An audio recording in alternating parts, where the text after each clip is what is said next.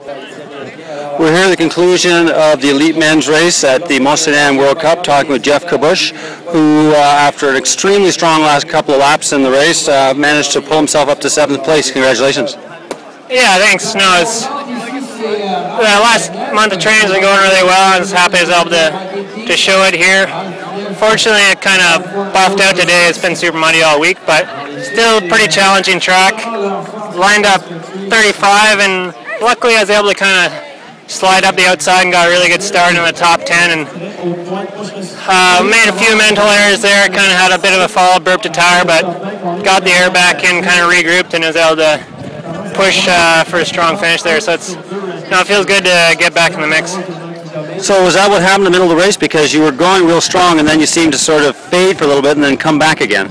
Yeah, no, I think part of it I pushed pretty hard. I knew I wanted to get in the mix and second time at the just the switchbacks at the bottom of La Beatrice, I took a bit of a different line and lost some air in my tire and uh, kind of had to regroup a bit there. So I slid maybe five or six places, but was able to kind of get back into my rhythm and uh, make a strong push there, sliding in the top eight.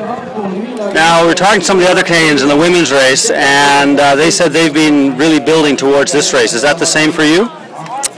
Yeah, I mean, for sure. These this race and uh, Windham, I feel like they're courses that really suit me. More so, uh, last couple days when it was muddy, I was, had a big smile on my face, and I mean, it's still a pretty challenging course, but it would have been really interesting if it stayed muddy. But it seems uh, like it's uh, used to fixing the weather or something. We always seem to always seems to dry out for uh, men's race time. Now, on, on the Beatrice descent, we saw a lot of carnage at the top. Like a lot of the top 10, 15 riders all going down, much more than usual. What what was going on there? Well, uh, I'm not too sure. It's uh, the actual chute. Uh, La Beatrice isn't too too hard once you get rolling, but it's the corner before it, and I kind of take a unique line. I kind of do a front wheel pivot to line up a little inside and avoid. It's kind of just an off camber slippery rock, and I think that's where a lot of guys were losing it. And uh, I was lucky to be able to kind of go inside and avoid a few crashes up there. So next week, Windham. Now that you've got the seventh, uh, feeling starting to feel confident about a potential podium.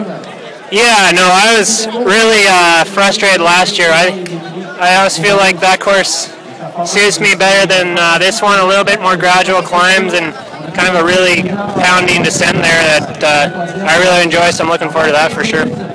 Well, again, congratulations. Thanks, Rob.